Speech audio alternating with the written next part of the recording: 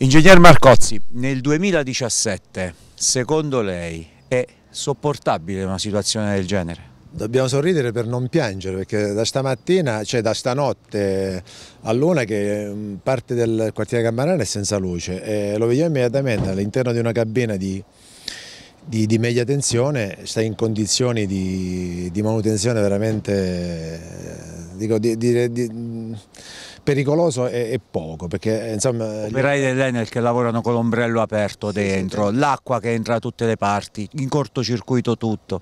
Sì, sì, infatti è saltata molto probabilmente per la presenza d'acqua, ma non può essere versamente, viste le condizioni dello stabile, che è anche pericoloso a livello statico, non è manutenuto e oltretutto siamo all'interno di questa via, forse in maniera anche abusiva, perché questa via oramai è chiusa da qualche anno, nonostante le nostre richieste per capire i motivi della chiusura. L'ultima risposta da parte del comune c'è stata, diceva che devono spostare la cabina, forse è questa, ma la cabina è ancora qui e danni continuano ad esserci, perché questa interruzione non è di, di, di questa mattina, è continua.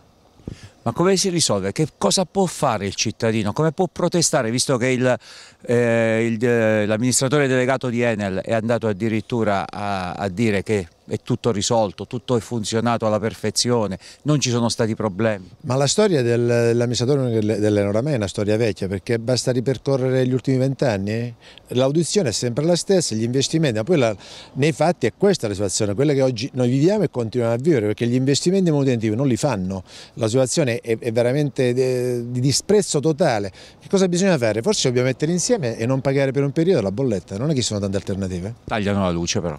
No, no, facciamo una protesta, non paghiamo le bollette, motivandole chiaramente, perché questa eh, va motivata e denunciata con forza, cioè vuol dire a un disservizio rispondiamo con un disservizio. Ma questa palazzina potrebbe crollare da un momento all'altro.